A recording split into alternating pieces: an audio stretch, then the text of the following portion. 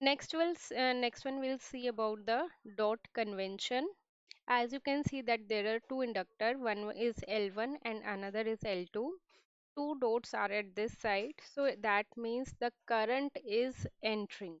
Okay, current is entering in the coil. Both the currents are entering. In the L1 also current is entering, in this also the current is entering. So that would be the series aiding connection. That would be the known as series aiding connection. Okay, understood? Now there is another case that if one of the inductor, two inductors are there and both the cases current is leaving. Okay, so in this case also current are leaving.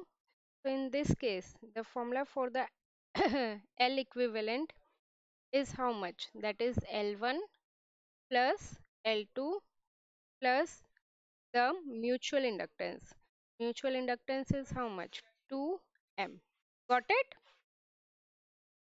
Now there is another case if one of the current is entering and one of the current is leaving, right? Because here it is entering and here it is leaving, correct? So in that case, the formula would be L equivalent would be L1 plus L2 minus and the mutual inductance between them is suppose M. So the formula would be minus 2M. Okay. Again, there is a different case if one of the current is leaving and one of the current is entering. That is technically known as series opposing connection. Okay.